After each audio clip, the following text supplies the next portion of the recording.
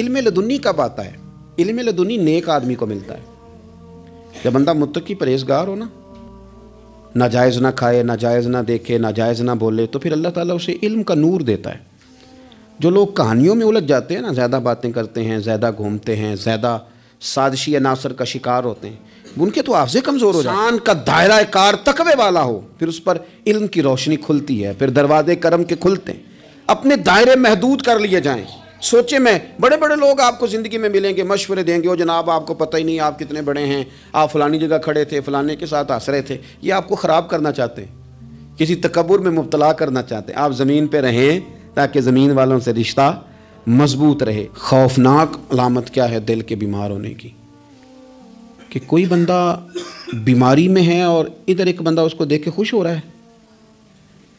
किसी को जवाल आ गया है कारोबार डूब गया है। और ये देख के खुश हो रहा है। मर गया इसका दिल। मुर्दा है, अंदर कोई दिल नहीं है। हमारा अब ये हाल है कि हम लोगों के दुखों पर हंसने लगे हम किसी के यहाँ कोई शख्स तकलीफ़ में आता है तो हम उसको कहकों में उड़ाते हैं। यारो, ज़िंदा कौमें ये काम नहीं करती। मेरे नबी ये पाक सल्लल्लाहु अलैहि वसल्लम ने फतह के मौके पर भी गर्दन को झुका के बताया कि जब रब उरूज दे तो फिर अल्लाह की बारगाह में झुक जाया करो। किसी शख्स के, पता है, एक हदीस सुनो।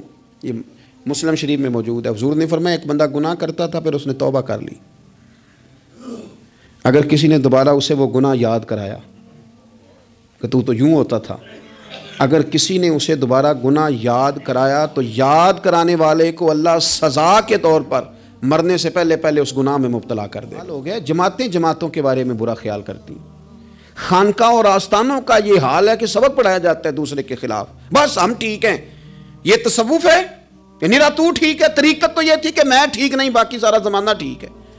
तू किस चक्कर में पड़ा हुआ है? आला हज़रत फाजल बरेलवी रहमत के एक दरवेश थे तो फाजल बरेलवी रहमत से कहने लगे, मैंने मुरीद होना है। फरमाने लगे, पुत्र, जल्दी ना हो, जा सारा ज़माना देख। अगर कोई मेरी तरह का मिल गया, मुझसे बेहतर मिल गया तो फिर मेरे साथ वादा कर, वहीं रह जाना। हाँ अगर तेरे ख्याल में न मिला तो फिर आना। जा, घूम ज़माना देख। ये क्या बात हुई? कि आप नफ़ी करने लगे सारे ज़माने की और कहें, सिर्फ़ मैं ही ठीक हूँ? कहा था कि वो कुछ लोग ना सिख हिंदू यहाँ रहते थे तो उनका नाम मोहम्मद था चूँकि। तो बात को शुभ पड़ गया कि शायद जिनका लोग कलमा पढ़ते हैं ना, मुसलमान। माजल्ला ये वो वाले। तो मियाँ साहब अपने बारे में क्या करें वो मैं तो बंदा ठग जे लोको। मैं तो बंदा चोर। जिस दा खलकत कलमा पढ़ दी, ओ, मुहम्मद होर। ओ, मैं तो एक ठग हूँ। हज़रत मियाँ शेर मोहम्मद साहब शरकपुरी रहमत सरताज हैं अलिया के। भी सैयद इसमाइल शाह साहब बुखारी, हज़रत करमा वाला शरीफ वाले। वो कहते मैं बैत होने के लिए जब शरकपुर शरीफ आ रहा था तो रस्ते में मुझे एक बुज़ुर्ग मिल गए। तो मुझे कहने लगे, किधर जा रहे हो? कौन हो? मैंने कहा, मैं सैयद हूँ और मियाँ साहब से बैत होने जा रहा हूँ। तो मुझे कहने लगे, वो तो दुनियादार है, जेबों में हाथ डालता है लोगों की। तू सैयद हो के के पीछे क्या लेने दफ़ा रस्ते में मुझे मना किया, ना जाना ना जाना। फ़लानी जगह चला जा फ़लानी जगह। लेकिन मैं चला गया, मेरी तलब सादक थी। जब मैं बाहर जाकर बैठा तो अंदर से बुलावा आया कि मियाँ साहब ने बुलाया अंदर गया तो ये तो वही बाबा जी हैं जो मुझे रोक रहे थे।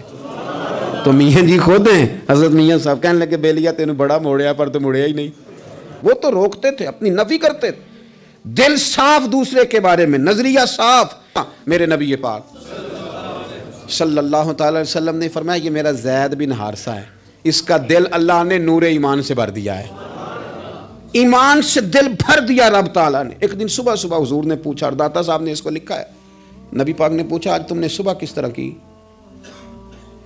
अर्ज़ की, या रसुल्ला इस हाल में कि मैं पक्का मोमिन हूँ।